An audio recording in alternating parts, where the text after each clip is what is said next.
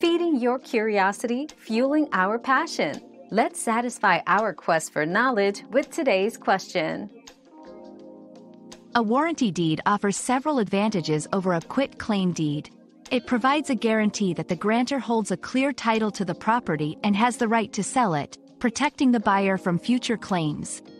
Additionally, a warranty deed includes covenants for further assurances, legally obligating the seller to address any title issues that arise. In contrast, a quit claim deed transfers only the seller's interests in the property without any guarantees, making it riskier for the buyer. We've quenched today's curiosity, but there's always more to learn. Keep the curiosity alive by subscribing and joining us for our next adventure.